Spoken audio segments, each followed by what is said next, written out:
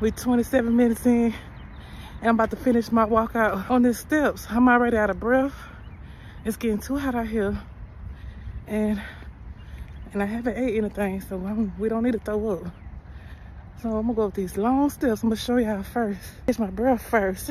this is how big these steps is. I'm gonna go up once. If I feel like I can do it twice, then we'll do it twice. I'm gonna listen to my body. I ain't for to overdo it.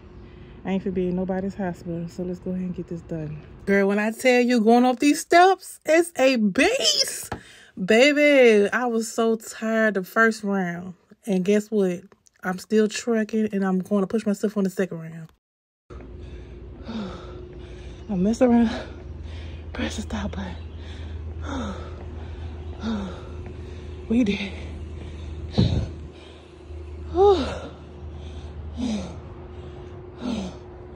This is it.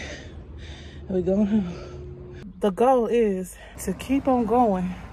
Don't hurt yourself in the process. Keep going. Push yourself one more step. Listen to your body, but keep pushing yourself. Keep going, don't stop. And if your body says you've done enough today, I don't care if it says you've done enough for 10 minutes, you're done. You did enough in five minutes, you're done. The next day, you're gonna do 10 minutes if you did five minutes today.